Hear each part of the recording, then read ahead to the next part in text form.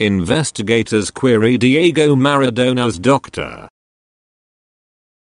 Argentine police in Buenos Aires are investigating Dr. Leopoldo Luque over the treatment received by the soccer legend just before his death on Wednesday.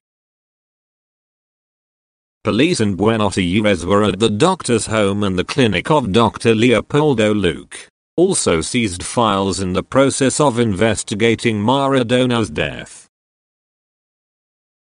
Detective officers in San Isidro, Buenos Aires province, said the investigation is necessary after interviewing Maradona's relatives.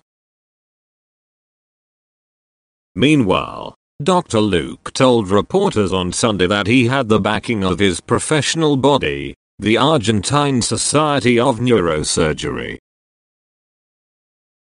I know what I did. I know how I did it. I am absolutely sure that what I did the best for Diego. The best I could.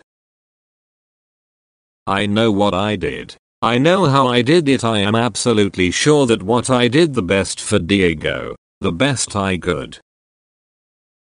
I had the full endorsement of the Argentine Society of Neurosurgery that Diego needed the surgery.